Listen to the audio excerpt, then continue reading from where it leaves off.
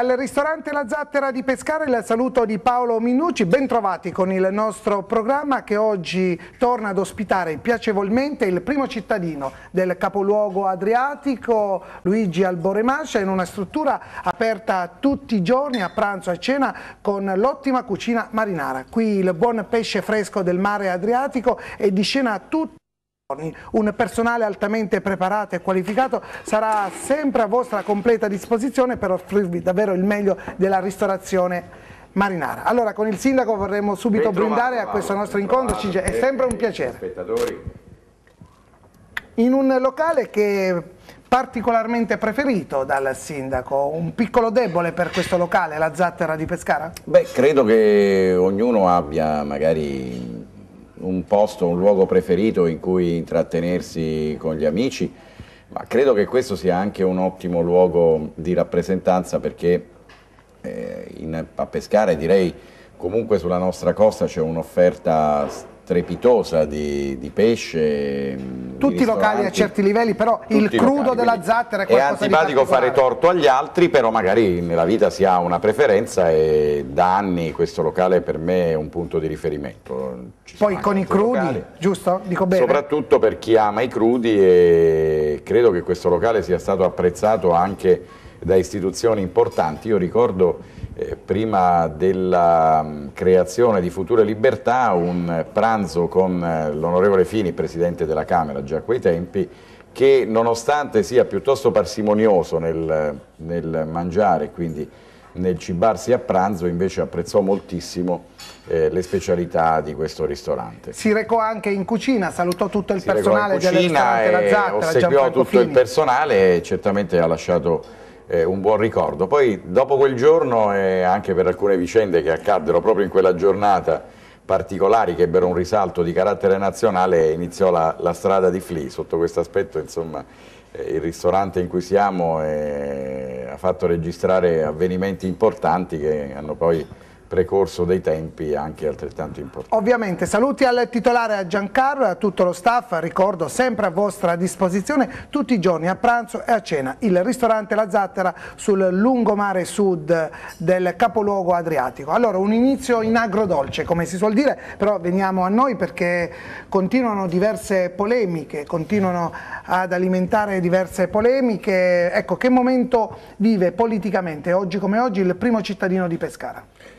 Eh, un momento personale molto buono, eh, sono anche a livello esistenziale molto sereno, molto ah, tranquillo. Questo è importante. E dopo due anni e mezzo di amministrazione si acquisisce anche una consapevolezza, nonostante i tanti anni di attività politica svolti, perché eh, io quest'anno sono al quattordicesimo anno all'interno del Comune di Pescara, essendo stato eletto per la prima volta nel 1998 e avendo svolto tutte le cariche, avendo effettuato quello che ai tempi dei romani si, si chiamava cursus honorum e che mi ha visto protagonista in varie fasi sino ad arrivare ad essere il primo cittadino. Quindi ha superato Quindi il tagliato. Assolutamente un momento personale molto buono, direi anche un momento amministrativo molto buono perché proprio in questi giorni eh, sono arrivate al traguardo finalmente opere strategiche importanti, altre sono partite e arriveranno al traguardo da qui a pochi mesi e quindi io presumo che il cammino fino alla scadenza del mandato elettorale che ricordiamolo è a, nella primavera-estate del 2014, lo vedo pieno di soddisfazioni, e cioè di opere importanti, che è quello che mi preme più di ogni altra cosa, regalare ai cittadini, compatibilmente certo. con i certo. tempi che viviamo e con le difficoltà che tutte le amministrazioni hanno. L'esiguità di bilancio. Guardiamo il sindaco Luciani di Francavilla che è stato eletto poco più di 8-9 mesi fa, ha già delle difficoltà, ma in tutti i comuni di centrodestra e di centrosinistra oggi si, si vivono momenti molto delicati. Nonostante questo la mia amministrazione comunque addirittura si è rafforzata anche grazie ad una bella e solida intesa con l'UDC che non si è registrata in altri comuni ma che invece il comune di Pescara garantisce una serena governabilità. Ecco, intanto arrivano questi crudi, fantastici crudi, i mitici crudi del ristorante La Zattera di cui dicevamo prima. Allora, abbiamo iniziato a parlare di note liete, di tutto quello che sta facendo la giunta guidata da Luigi Alboremascia, però sembrano esserci delle difficoltà di natura politica perché si legge sui giornali di queste diatribe sia con il gruppo facente capo all'assessore regionale Carlo Maci che per quanto concerne i suoi rapporti rapporti con il coordinatore provinciale del PDL Lorenzo Sospiri. Cosa c'è di vero? È tutta una montatura o c'è qualche... Io non cado in provocazioni anche perché... Eh, Intanto io le servo questi Conosco crudi. il mondo del giornalismo di Pescara eh, da tanti anni essendo e anche stato lei è un giornalista, è un giornalista eh, diversi anni fa, credo oltre vent'anni fa e quindi eh, capisco anche il modo di fare giornalismo, io mh, non faccio mai considerazioni eh, per quanto riguarda gli alleati. Ci possono essere anche momenti di difficoltà o comunque momenti in cui occorrono confronti, qualche volta occorre anche qualche scontro, occorre qualche chiarimento, grazie. Eh, però io non esprimo mai giudizi eh, su chi eh, comunque collabora con me nel governo della città. Però ci sono state ho delle un grande dimissioni. senso di appartenenza. Delle ci dimissioni. sono state delle dimissioni, credo, di personaggi comunque non di primissimo piano all'interno eh, del comitato cittadino del PDL, però non credo che queste dimissioni siano derivate da una questione di carattere Quindi Armando. Foschi, Vittorio Mingione non Armando sono Foschi è un galantuomo che eh, fa il capogruppo del PDL che è stato eletto da poco e che evidentemente ha voluto un momento di verifica interno al gruppo consiliare che è arrivato puntualmente e che ha dato piena fiducia ad una persona che si impegna quotidianamente fino allo spasimo per la città di Pescara. Questo uomo è Armando Foschi, una persona di grande esperienza politica che adesso sta ricoprendo questo ruolo per lui nuovo ma che credo possa ricoprire nel migliore dei modi e continuerà a ricoprire fino alla fine del mandato di avere il gruppo più numeroso in consiglio comunale, cioè il gruppo del PDL, un gruppo di 14 o 15 consiglieri che comunque lo impegna moltissimo e lo porta anche a confrontarsi con le varie anime che ci possono essere all'interno di un gruppo Ovviamente. E su Vittorio Mincione che cosa ci dice?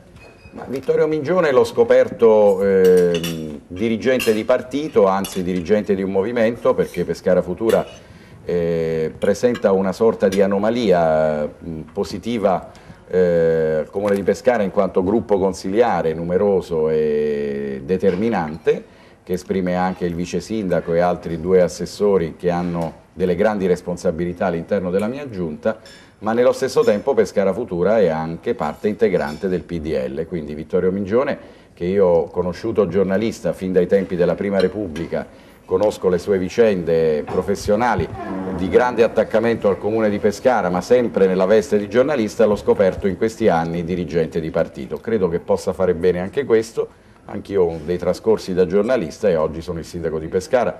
E credo che Migione tornerà sui suoi passi o comunque il suo apporto e il suo contributo mi sembra importante.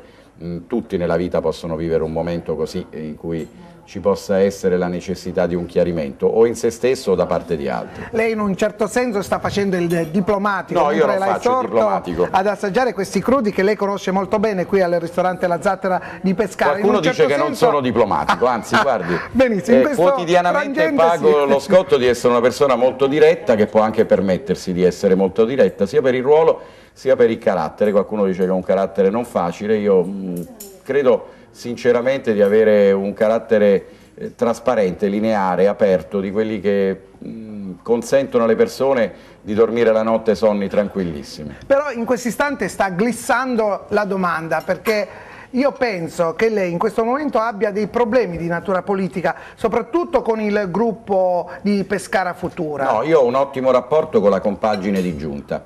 Eh, riesco a occuparmi poco perché le fatiche quotidiane sono tante e la mia giornata di lavoro eh, dura 13-14 ore al giorno.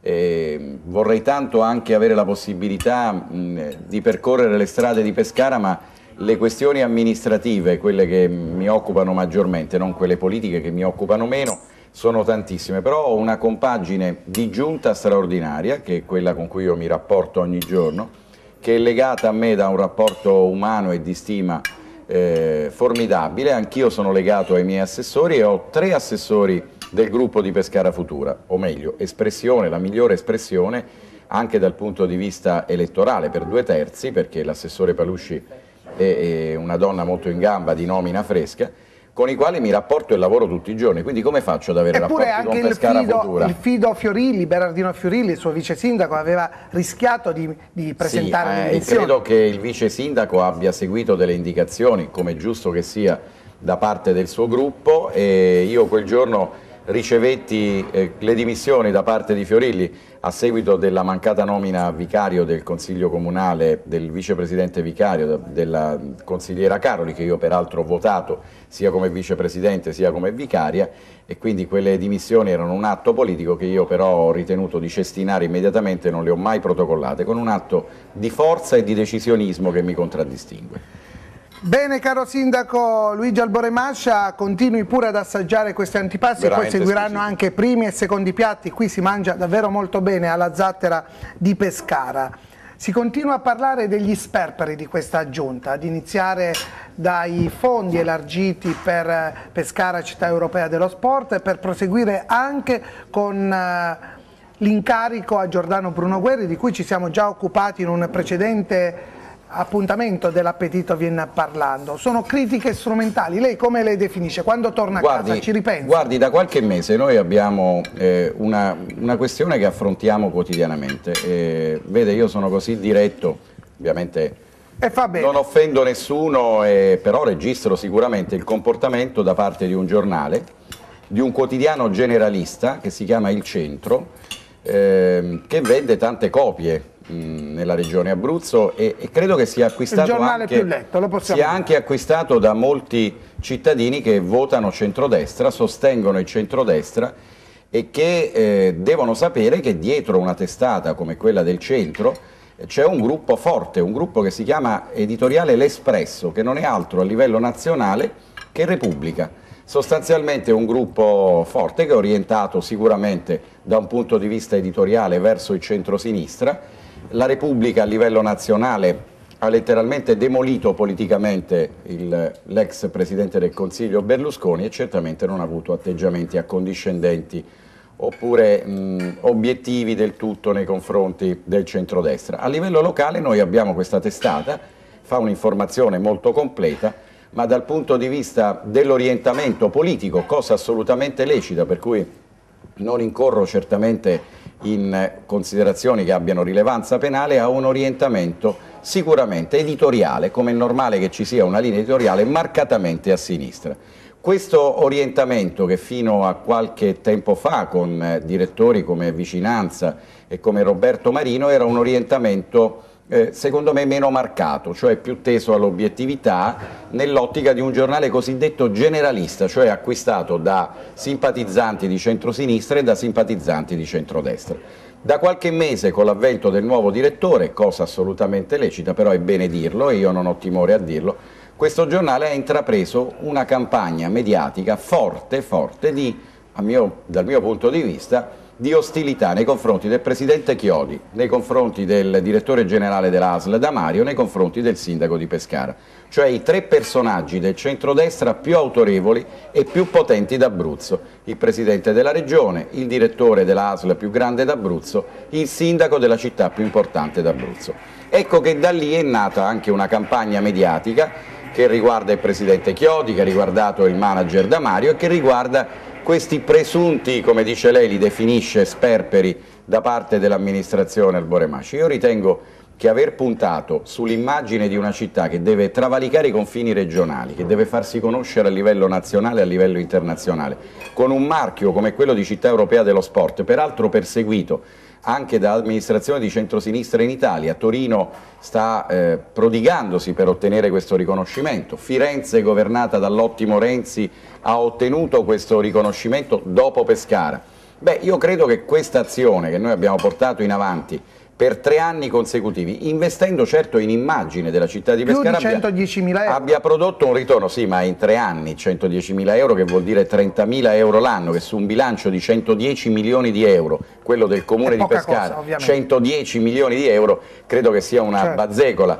Ma tutto questo per cercare di riportare in questa città immagine, di portare turismo, di portare interessi, cosa che abbiamo fatto. è venuta la nazionale di calcio due volte, la nazionale maggiore a Pescara, cosa che avveniva ogni, oltre ogni 15 anni nella città di Pescara.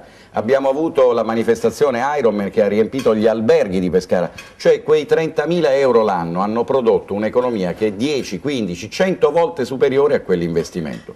Poi è ovvio che se si vuole creare giornalisticamente una montatura intorno a un problema con una minoranza che dovrebbe avere un pochino più pudore rispetto a sei anni del passato di amministrazione d'Alfonso, minoranza formata da quegli stessi componenti di quell'amministrazione che non mi pare fosse molto parsimoniosa. Voglio ricordare quanti soldi sono stati spesi per inaugurare l'Aurum, credo oltre 200.000 euro per due giorni di baccanali per inaugurare una struttura fantastica, ma comunque 200.000 euro dei cittadini pescaresi.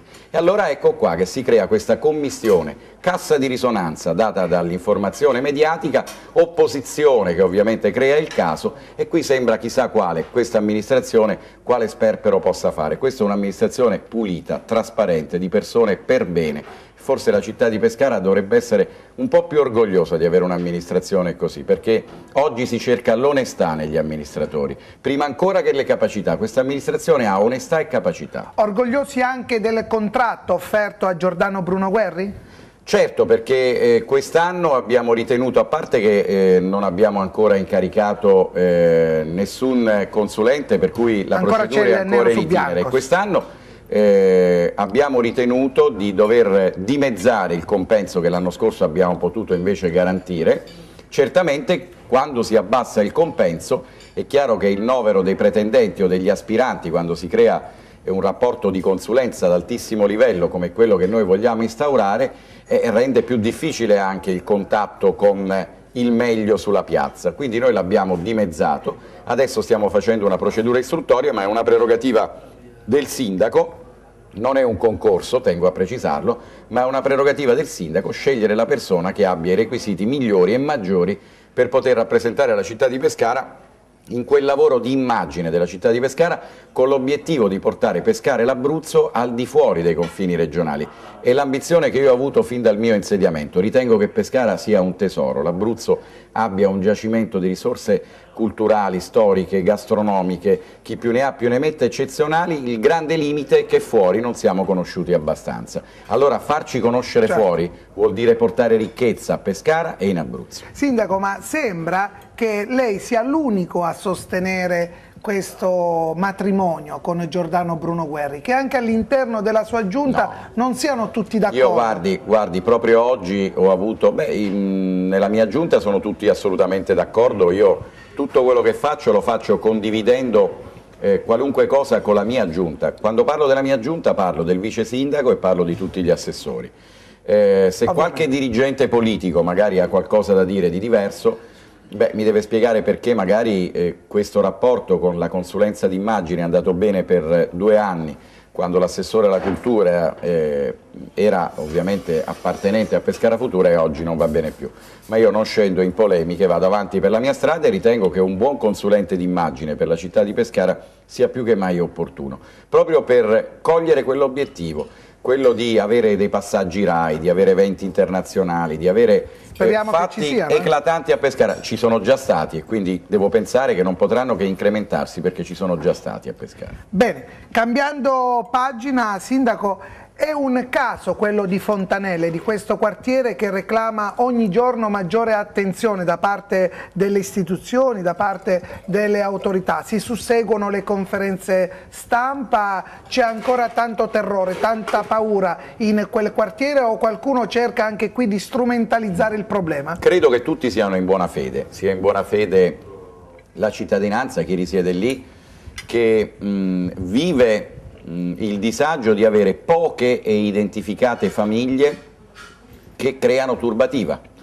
Eh, il 95% delle famiglie che vive in via Caduti per servizio, perché Fontanelle è un quartiere molto ampio, tra l'altro eh, voglio anche regalare un, un riferimento storico. Eh, Pescara, la città di Pescara, questo lo testimoniano eh, i reperti che ci sono presso una realtà civica eh, bellissima che è il Museo delle Genti d'Abruzzo, Pescara è nata nel quartiere di Fontanelle, cioè i primi reperti, quelli che risalgono eh, addirittura ad epoche preistoriche, sono stati rinvenuti proprio nel quartiere di Fontanelle, ancora prima che eh, quello che la tradizione ci dice, la piazza forte di Pescara, Ostia Terni, quello che noi chiamiamo centro storico oggi.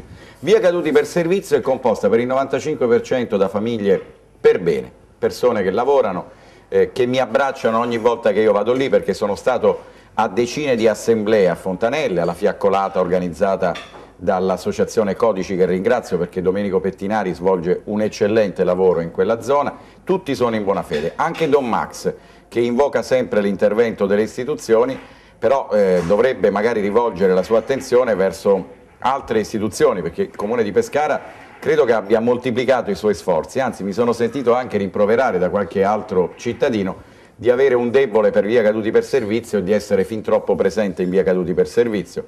Noi lì abbiamo ripreso i lavori di una palestra che era stata letteralmente abbandonata, abbiamo aperto una sede civica dove c'è l'associazione eh, di Insieme per Fontanelle, dove c'è eh, l'associazione Codici. Abbiamo dato incomodato addirittura quell'automobile al presidente dell'associazione, all'amico Nello Raspa, abbiamo dato incomodato, quindi in uso gratuito, un'automobile utilitaria del comune di Pescara, proprio per dimostrare che la sua auto che era stata incendiata veniva prontamente sostituita dalle istituzioni. Abbiamo potenziato l'illuminazione, stiamo per installare le telecamere, abbiamo operato gli sfratti, abbiamo messo i portoni blindati, addirittura riempiremo gli spazi sottostanti i condomini. Io credo davvero che il lavoro che stiamo facendo, che abbiamo fatto e che continueremo a fare per via caduti per servizio è un lavoro inimitabile per certi versi e quindi credo che siamo sulla buona strada. Ma Poi, lei ci andrebbe a dormire? Ci dormirebbe? Assolutamente a... sì. Senza aver Qualunque paura. cittadino di Fontanelle mi dovesse invitare ad andare a trascorrere una settimana in via caduti per servizio, io andrei a vivere in via caduti per servizio. La Udite, paura è la peggior cosa, la paura è la peggior cosa. E chi è malintenzionato, se percepisce, un po' come i mammiferi, come gli animali feroci, se percepiscono le scariche di adrenalina, di chi ha paura l'animale diventa aggressivo. Allo stesso modo la criminalità diventa aggressiva se percepisce il timore, se vede la forza, se vede la presenza, come quella dimostrata con quella fiaccolata straordinaria che noi abbiamo organizzato, anzi che Codice ha organizzato e alla quale noi abbiamo preso parte a testa alta, allora la criminalità ha paura. Li abbiamo identificati, la Questura sta facendo un lavoro mirabile, Purtroppo, purtroppo l'ordinamento giudiziario non sempre dà gli strumenti più efficaci per poter bandire, debellare completamente ed estirpare la criminalità, ma ci stiamo lavorando.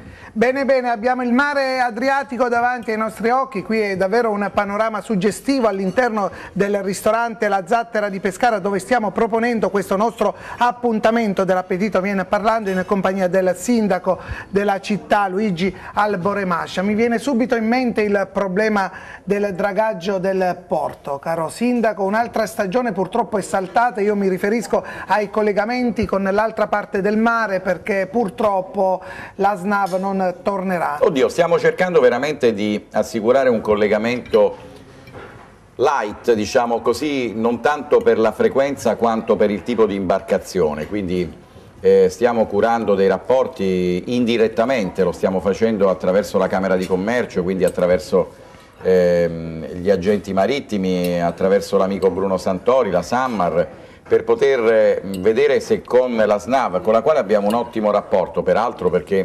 eh, più volte abbiamo incontrato la dottoressa Vago che rappresenta la SNAV no? nel centro Italia e quindi in Abruzzo, io però non vorrei interromperla, però in un precedente appuntamento spero, del nostro programma sì. l'ex presidente della Camera di Commercio di Pescara, sì, Ezio, Ardizzi, Ezio Ardizzi, ha detto che sia lei che il presidente della provincia di Pescara siete dei bravi ragazzi, però dovreste avere la forza di battere i pugni sul tavolo nelle sedi opportune, perché si è perso davvero troppo tempo. Beh, e questo troppo tempo perso ricade sulla città Ardizzi, di Pescara e Ardizzi tutto è un personaggio autorevole di questa città e vuole molto molto bene a questa città e quindi secondo me quando parla così è animato da uno spirito emotivo più che giustificato soprattutto dalla sua storia e dal suo attaccamento alla città di Pescara anche se lui abita a Montesilvano per la verità. E, ehm, io credo che il fatto di sbattere i pugni sui tavoli sia un po' una, appartenga un po' a una cultura locale che francamente oggi credo non, non, possa avere più risultati, perché battere i pugni sul tavolo eh, non vuol dire che con la forza o con la violenza verbale si possano ottenere le cose. Le cose si ottengono quando sono giuste, quando sono legittime, quando ci sono le condizioni di legge, quando ci sono le risorse, quando ci sono insomma una serie di elementi concorrenti per poter arrivare ad un risultato. Eh, colgo occasione, ma non per avere un atteggiamento pilatesco che non mi appartiene, ma per precisare quanto è necessario precisare, che al di là della responsabilità morale di essere sindaco di questa città e quindi direttamente interessato, io non ho una sola competenza amministrativa sulla vicenda dragaggio. Non l'ho avuta, non l'ho mai avuta all'inizio, non ce l'ho tuttora. Oggi c'è tra l'altro un commissario straordinario che è stato nominato con un provvedimento del Presidente del Consiglio dei Ministri che si è adoperato in tutti i modi. Io ho visto e condiviso anche eh, nello sguardo eh, e nei segni sul viso di Guerino Testa eh, tutto il rammarico. Da pescaresi insieme alla marineria, insieme a tutti coloro che stanno subendo questa vicenda, tutto il rammarico, la tristezza, qualche volta anche lo sconforto di fronte all'impotenza, perché ovviamente ci sono aspetti tecnici che eh, sono sopra la nostra testa e che non possono essere governati.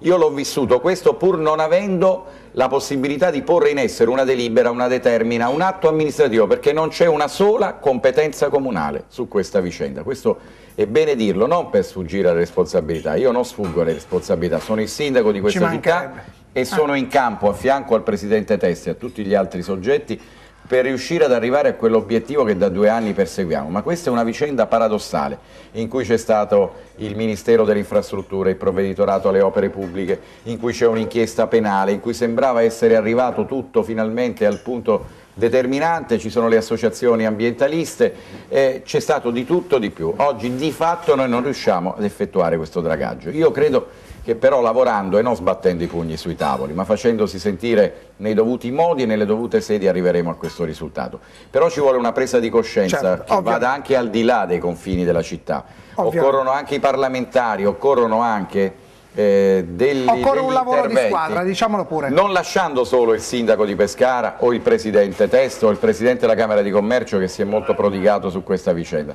ma facendo un lavoro corale su cui noi purtroppo in Abruzzo non sempre riusciamo a svolgere nel migliore dei modi la nostra azione. Bene, sindaco, sempre seduti comodamente a tavola all'interno del ristorante La Zattera di Pescara, ci avviciniamo proprio in addirittura d'arrivo. Lei nei giorni scorsi ha sbandierato la sua volontà di ricandidarsi anche per la prossima certo. candidatura. È stato anche qui criticato perché hanno detto in molti che ha preso questo atteggiamento, ha iniziato a parlare un po' troppo presto, non è così? Ma guardi, se per, peraltro l'avevo detto anche un anno fa, quindi se è troppo presto adesso era prestissimo un anno fa. Io sono il sindaco di questa città, sono nella storia di Pescara il sindaco che è stato eletto con il maggior consenso, col 54,5%.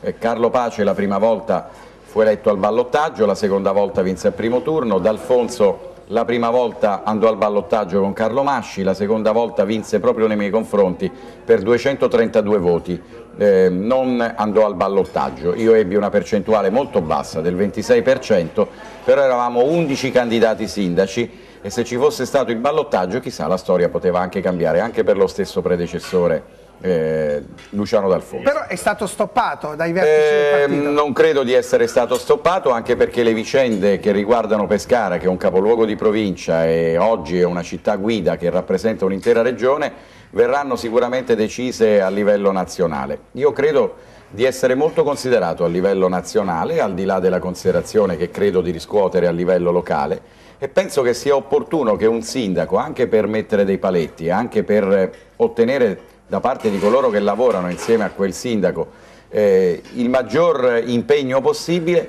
preannunci la propria ricandidatura per altri cinque anni di governo di questa città, anche perché c'è la ferma volontà di lavorare, di incrementare e di vedere portare a compimento progetti che una pubblica amministrazione eh, magari non sempre consente di portare a compimento in cinque anni in un mandato perché ovviamente i tempi della pubblica amministrazione sono lunghi.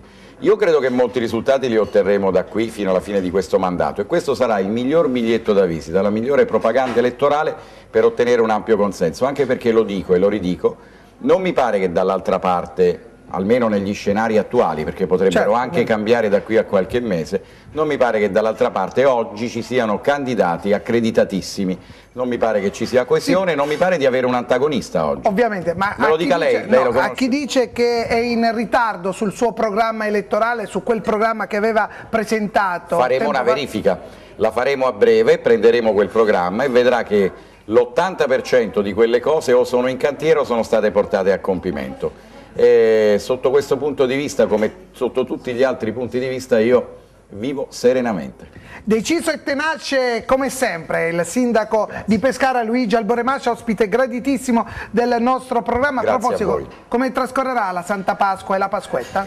Eh, guardi, andrò, mi concederò tre giorni di riposo in montagna, eh, la mia compagna, anzi la parola compagna non mi piace, la mia fidanzata eh, ha una piccola proprietà in quel di Pesco Costanzo, quindi ah, qui in Abruzzo, che bella località. un posto incantevole, quindi ne approfitterò con lei e con la sua famiglia per trascorrere tre giorni di assoluto riposo, soprattutto eh, godendo di quei panorami e di quegli scenari che sono tipici delle nostre montagne e del nostro Abruzzo, che è una regione eh, eccezionale. Dopodiché si tornerà Dopodiché al lavoro. Dopodiché si torna al lavoro più che mai perché ci sono le sessioni di bilancio da affrontare, abbiamo adottato il bilancio di previsione in giunta, adesso bisognerà andare in consiglio. Delle scadenze importanti, per il momento tanti auguri grazie, di buona Pasqua al sindaco di Pescara. Sì, al sindaco di Pescara Luigi Alboremascia, ospite gradito del nostro programma, l'appetito viene parlando che si è svolto all'interno del ristorante La Zattera sul lungomare sud di Pescara, un locale aperto tutti i giorni a pranzo e a cena con il meglio della ristorazione marinara. Grazie a voi per averci scelto da casa, l'appuntamento con il nostro programma si rinnova così alle prossime edizioni. Ciao a tutti!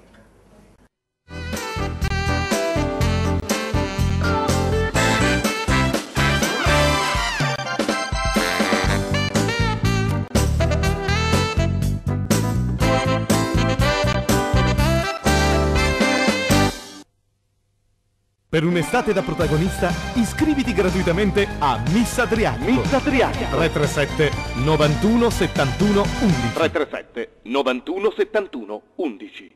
In questo spot potremmo dichiarare il numero dei nostri clienti, potremmo vantarci dell'esperienza maturata nel nostro settore, potremmo... no, perché la nostra migliore pubblicità è il tuo passaparola.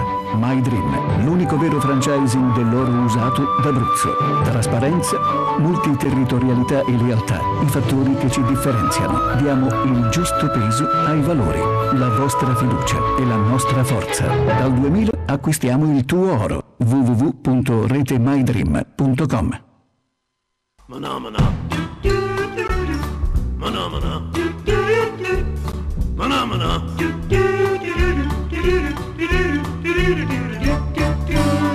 Manà,